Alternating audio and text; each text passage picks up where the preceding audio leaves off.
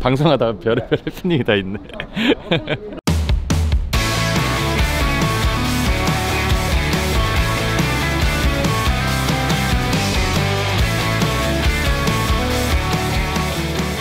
고기를 사랑하는 구독자 여러분 안녕하세요. 정유광입니다. 자 여러분 저는 지금 종로 3가역 근처에 나와 있는데요. 뒤쪽이 탑골공원이고 이 옆쪽에 육회하고 내장 부위가 좀 괜찮은 식당이 있어가지고 여기 직접 찾아왔습니다. 안쪽으로 들어가가지고 여러분들께 이 식당에 대해서 자세하게 소개해드리도록 하겠습니다. 가시죠 서울 종로구 낙원동 종로 3가역 인근에 위치한 동대문 허팥집입니다 이곳은 소 내장구이부터 육회, 간, 천엽 등 신선한 생고기를 맛볼 수 있는 식당입니다. 식당 바로 앞이 탑골공원이기 때문에 소비층이 젊은 층보단 어르신들 위주로 가격대까지 꽤나 합리적이었습니다. 지금부터 이 식당의 장점과 매력은 무엇인지 천천히 알아보도록 하겠습니다. 업장의 이력은 6년 정도로 생각보다 그리 오래되진 않았지만 술 땡기는 외관 모습은 발걸음을 멈추기에 충분했습니다. 내부도 평범하고 투박한 일반 식당 느낌이었고 테이블은 10개가 안 되어 보였습니다. 메뉴판에는 구이류와 전골 육회 종류가 있었고 구이류는 전부 한우를 취급한다고 들었습니다.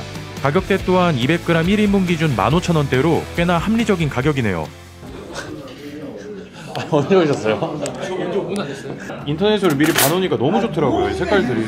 기본 청구성이 깍두기하고 그 다음 고추하고 마늘 나오고 부추하고 양파 해가지고 고추 양념으로 이렇게 나오고요. 된장하고 쌈장 섞여 있는 것 같고 참기름장 나오고 두 가지가 기본 서비스로 이렇게 나오네요. 지금 간 육색을 보면은 육색이 약간 짙으면서도 그 신선한 색깔을 딱 띄고 있습니다. 간 육색이 너무 좋다. 대장님 출연하셔도 되죠? 치봤어.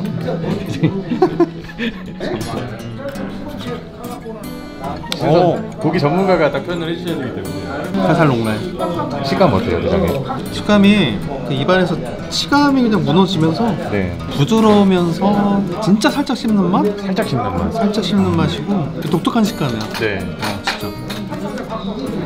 그것도 기름장하고 너무 잘 어울린다. 네. 그렇다고 한우랑 비교했을 때뭐 육으라고 해서 크게 막 나쁘다 이런 건 없나요? 전혀 없지. 전혀 없고요. 근데 치맛살 이거 사시미 내는데 되게 많지 않은데. 네, 저, 는 처음 봐요. 저도 많이 못 봤는데 고기 딱 봐도 너무 좋아 보인다. 들어가잖아요. 오랜만에 육사시미 먹는데 한번 맛보도록 하겠습니다.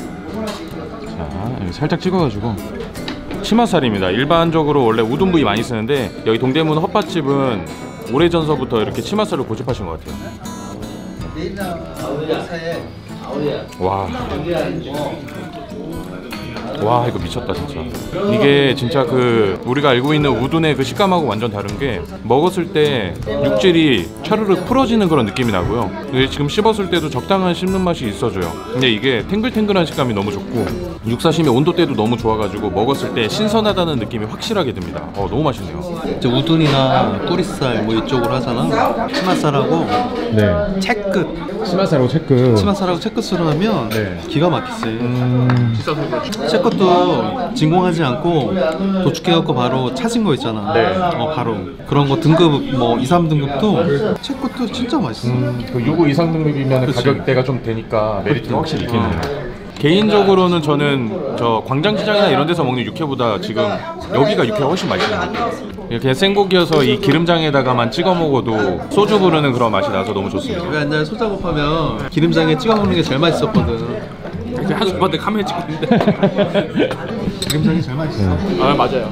육사심이 한 점 딱 먹고 그 다음 소주 한 잔 하면은 각입니다 이게. 살짝 찍어가지고.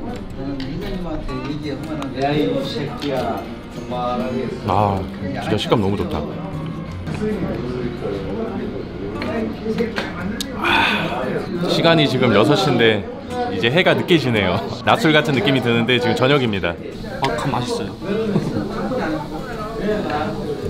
와, 간 색깔 진짜 너무 좋다. 간이 색깔이 핏기가 없거나 흐리뭉텅한 그런 색깔이 있으면은 간이 정말 신선하지 않은 건데 딱 봐도 굉장히 신선합니다. 이게 일단은 간이 되게 신선한 거는 딱 먹었을 때 이 단맛이 돕니다. 피비린내 같은 잡내가 하나도 없고 한 두세 번만 딱 씹어도 입에서 차르르 녹으면서 바로 단맛이 올라옵니다. 지금 먹는 간은 굉장히 신선하네요.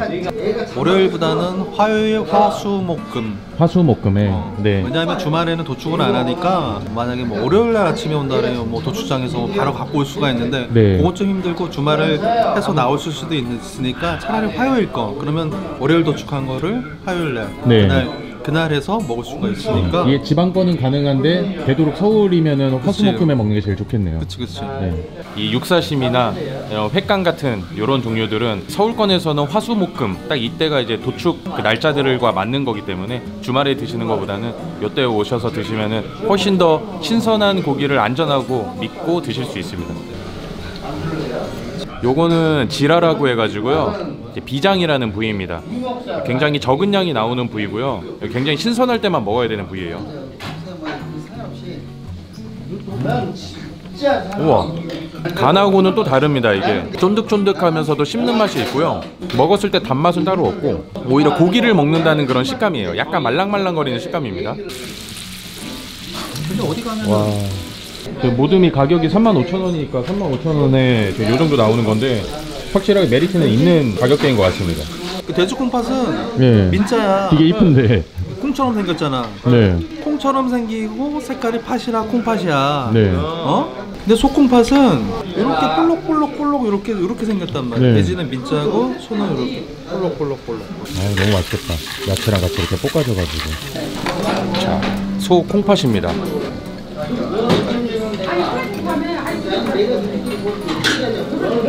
식감이 되게 약간 아삭아삭한 느낌이야 일단 식감은 되게 부드럽고 약간 아삭아삭한 그런 느낌이 있어요. 약간 오돌오돌한 느낌도 있는 것 같고 굉장히 부드럽고 일단 내장 부위이기 때문에 분명히 호불호는 분명히 있습니다. 허파라든지 간 이런 부위에서 나는 딱 그 맛이 나고요. 특유의 향 그런 향이 나는데 그렇다고 이거 잡내는 아니고 고소한 맛도 좋고 아주 담백하게 먹을 수 있을 것 같아요 막창 같은 경우에는 이렇게 약간 층이 돼 있는데 겉에는 약간 껍데기 같은 느낌이고 안쪽은 그 특양하고 비슷하게 이렇게 비슷하게 되어 있습니다. 음. 아 식감 너무 좋다. 막창은 오독오독하면서도 씹었을 때 씹는 맛이 너무 좋습니다. 쫄깃하면서도 아삭한 느낌이 아주 강하고요. 그렇다고 질기지는 않아요. 한우 곱창이다 보니까 일단 퀄리티는 너무 좋은 것 같고 이쪽 상권 자체가 어르신들이 많다 보니까 확실히 또 입맛도 어느 정도 까다로우실 거란 말이에요. 그래서 제품 품질도 저렴하면서도 이렇게 퀄리티를 잘 유지하고 계시는 것 같습니다. 가격도 싸가지고. 예, 가격도 싼데. 아, 자, 여기 치마살은 치마살 중에서도 얄치마살이거든요. 이쪽이 식감이 정말 좋습니다. 잡내 하나 없고 굉장히 깔끔한 맛이라서 너무 좋네요.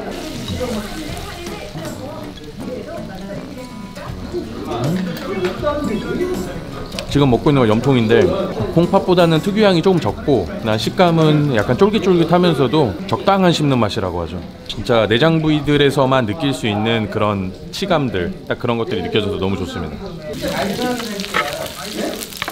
아, 바짝 익어가지고 맛있겠다. 확실히 곱창이나 대창 이런 부위들은 겉에 막이 질기다 보니까 확실하게 바짝 익혀주는 게 좋습니다. 또 일반 숯불이 아니라 돌판이잖아요. 그래서 익는데 시간도 조금 걸리니까 겉면이 크리스피하게 익었을 때 그때 드시면은 그 곱창의 고소한 맛과 그런 맛들을 확실히 더 느낄 수 있습니다. 요게 대창. 부산 장사를 좀 오래 했잖아요. 대창은 느끼하니까 이런 느낌으로 먹겠습니다.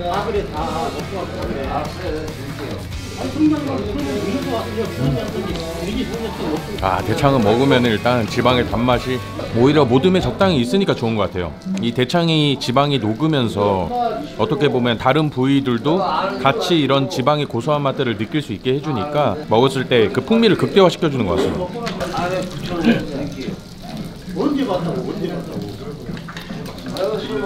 어우, 어 곱창 너무 맛있다. 사시미 먹다가 구워 먹어도 됩니다. 이 대창 기름에다가 지금 굽는 거예요. 마지막으로 궁금해서 주문했던 허파탕 1인분입니다. 큼직한 무랑 대파 그리고 허파가 들어가 있어서 마치 갈치조림 같은 비주얼로 나왔습니다. 자 여러분 요거는 소 허파입니다.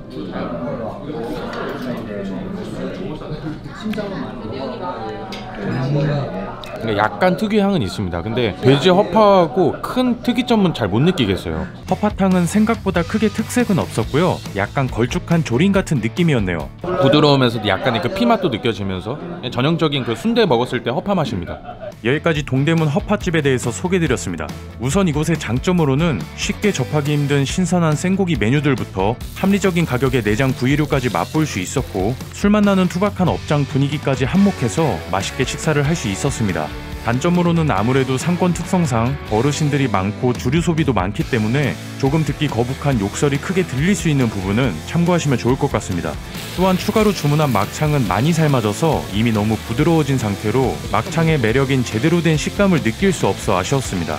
이런 부분들을 제외해도 꽤나 만족스러운 식사를 했기 때문에 육회 종류의 소주 한 잔 느낌 아시는 분들은 한 번쯤 방문해 보시면 좋을 것 같네요.